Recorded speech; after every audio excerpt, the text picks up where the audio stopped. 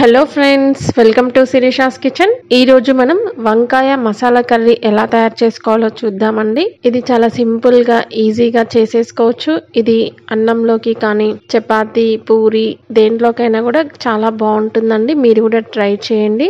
దీనికి కావాల్సిన పదార్థాలు అలాగే తయారు చేసే విధానం చూద్దాం. ముందుగా స్టవ్ పైన ఒక ప్యాన్ తీసుకొని ఇందులో పావు టేబుల్ స్పూన్ పల్లీలు వన్ టేబుల్ స్పూన్ నువ్వులు వన్ టేబుల్ స్పూన్ ధనియాలు వన్ టీ స్పూన్ జీలకర్ర ఒక ఎనిమిది లవంగాలు మూడు యాలకులు అలాగే ఒక చిన్న ముక్క దాల్చిన చెక్క వేసేసుకున్నామండి. ఇప్పుడు వీటన్నిటిని కూడా మీడియం ఫ్లేమ్లో పెట్టుకొని మంచి కలర్ వచ్చే వరకు ఫ్రై చేసేసుకోవాలండి. చూసారు కదా ఇలా ఫ్రై అయిపోయిన తర్వాత మనం వీటిని ఒక ప్లేట్లోకి తీసేసుకొని చల్లారిన తర్వాత మనం వీటిని మిక్సీ జార్లో వేసేసుకుందాము.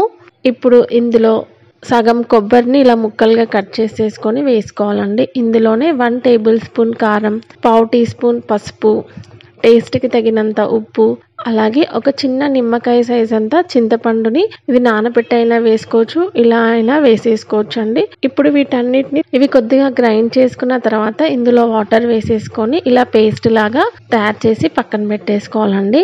ఇప్పుడు నేను వంకాయల్ని ముందుగానే కడిగి పెట్టుకున్నాను. అలాగే ఒక బౌల్లో కొన్ని వాటర్ తీసుకొని అందులో ఉప్పు వేసేసుకుంటున్నాను. ఈ ఉప్పు వేసుకోవడం వల్ల వంకాయలు కలర్ చేంజ్ కాకుండా ఉంటాయి. ఇప్పుడు వంకాయల్ని ఇలా మధ్యలోకి కట్ చేసుకోవాలండి. ఈ వంకాయలు మీడియం సైజ్ వంకాయలు అయితే ఇంకా బాగుంటాయండి. ఇవి కొంచెం పెద్దగా ఉన్నాయి. మీరు మీడియం సైజ్ అన్ని ఒకే రకంగా మీకు నచ్చిన విధంగా మీరు వంకాయలు తీసేసుకోవచ్చు. చూసారు కదండి?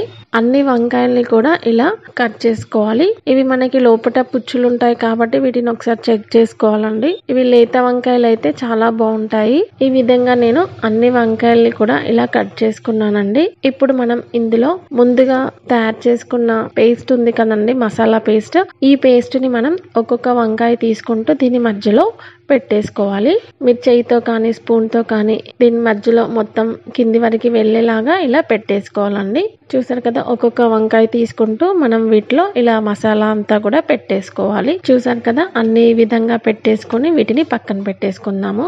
ఇప్పుడు ఈ మసాలా పేస్ట్ కొద్దిగా మిగిలిపోయింది కదండి ఇది మనం కర్రీలోకి గ్రేవీ లాగా యూస్ చేసేసుకోవచ్చు. దీన్ని కూడా పక్కన పెట్టేసుకుందాము. ఇప్పుడు స్టవ్ పైన ఒక ప్యాన్ తీసుకొని ఇందులో త్రీ టేబుల్ స్పూన్ ఆయిల్ వేసుకుందామండి. ఇది మసాలా కర్రీ కాబట్టి కొంచెం ఆయిల్ ఎక్కువగా వేసుకుంటే బాగుంటుంది. ఇందులోని హాఫ్ టీ స్పూన్ సాజీరా అలాగే రెండు పచ్చిమిర్చిని మధ్యలో కట్ చేసుకొని వేసుకుంటున్నాను. వీటిని కొంచెం ఫ్రై చేసుకున్న తర్వాత ఇందులో ముందుగా కట్ చేసుకున్న వన్ కప్పు ఉల్లిపాయ ముక్కల్ని వేసేసుకొని వీటిని కొంచెం కలర్ చేంజ్ అయ్యే వరకు ఫ్రై చేసుకుందామండి. చూసారు కదా ఇలా కొద్దిగా కలర్ చేంజ్ అయిపోయిన తర్వాత ఇందులో వన్ టేబుల్ స్పూన్ అల్లం వెల్లుల్లి పేస్ట్ పావు టీ స్పూన్ పసుపు అలాగే ఒక రెండు రెమ్మల కరివేపాకు వేసుకొని ఇవన్నీ కూడా ఒక రెండు నిమిషాలు ఇలా కలుపుతూ ఫ్రై చేసేసుకోవాలి. ఇలా అంతా ఫ్రై చేసుకున్న తర్వాత మనం ఇందులో ముందుగా రెడీ చేసుకున్న వంకాయల్ని ఒక్కొక్కటిగా అన్ని వేసేసుకోవాలండి. ఇలా అన్ని వంకాయలు ఇందులో పెట్టేసుకొని దీనిపైన మూత పెట్టి ఒక ఫైవ్ మినిట్స్ మగ్గించుకోవాలండి. చూసారు కదా ఇలా వంకాయలు కొంచెం కలర్ చేంజ్ అయ్యాయి. ఇప్పుడు మనం వీటిని ఇంకొక సైడ్ ఇలా టర్న్ చేసేసుకుందాము అన్ని వంకాయల్ని కూడా.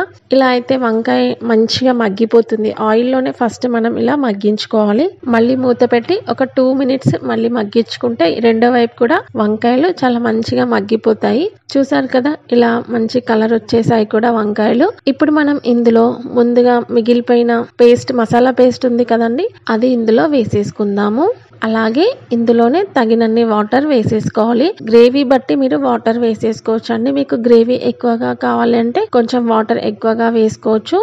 చూసారు కదా ఇలా వాటర్ వేసేసుకొని మొత్తం అంతా కలిపేసుకోవాలండి. ఇలా ఒక ఫైవ్ మినిట్స్ మనం మూత పెట్టి మగ్గించుకుంటే ఈ వంకాయలకి ఉప్పు కారం అంతా పట్టి చాలా టేస్టీగా ఉంటాయండి. అలాగే ఆయిల్ కూడా మనకి పైకి తేలుతుంది. అప్పటి వరకు వీటిని ఉడికించుకోవాలి. చూసారు కదండి ఒక ఫైవ్ మినిట్స్ తర్వాత ఆయిల్ అంతా కూడా పైకి తేలిపోయి వంకాయ కూడా మంచిగా ఉడికిపోయింది. ఇప్పుడు మనం చివర్లో కొద్దిగా ఇలా కొత్తిమీర అంతా వేసేసుకొని ఒకసారి కలిపేసుకుందాము. ఇప్పుడు ఇది టేస్ట్ చూసుకొని మీకు ఇందులో ఇంకా ఉప్పు కారం ఏమైనా పడతాయి అనుకుంటే వేసేసుకోండి.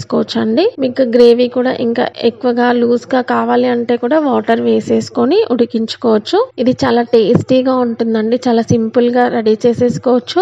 మీరు కూడా ఒకసారి ఈ విధంగా ట్రై చేసి చూడండి. ఈ వీడియో కనుక మీకు నచ్చినట్లయితే లైక్ చేయండి షేర్ చేయండి. అలాగే మరిన్ని లేటెస్ట్ రెసిపీస్ కోసం శిరీష కిచెన్ ఛానల్ని సబ్స్క్రైబ్ చేసుకోండి. Thank you friends. Thank you for watching.